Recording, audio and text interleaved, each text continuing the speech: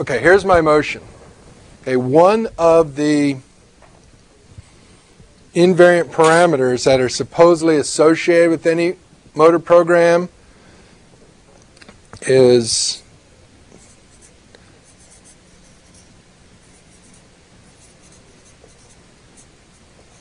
order of events. Okay. So conceptually, one of the features or one of the invariant parameters of generalized motor programs is that the order of events is invariant. Okay, it doesn't change. Whew. That stuff needs to be screened.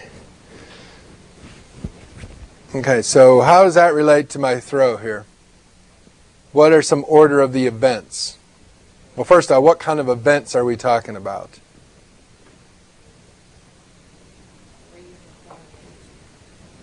Pardon me?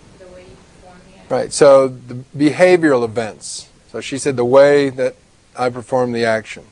Okay, so in this, my example of the throw, what are some of the of the events that seem to be fixed? Well, I, let me let me back up.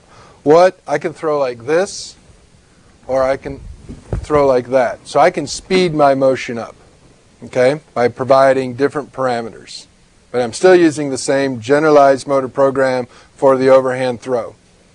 Okay, so between those two movements, the fast throw and the slow, slow throw, what are some of the order of the events that are invariant?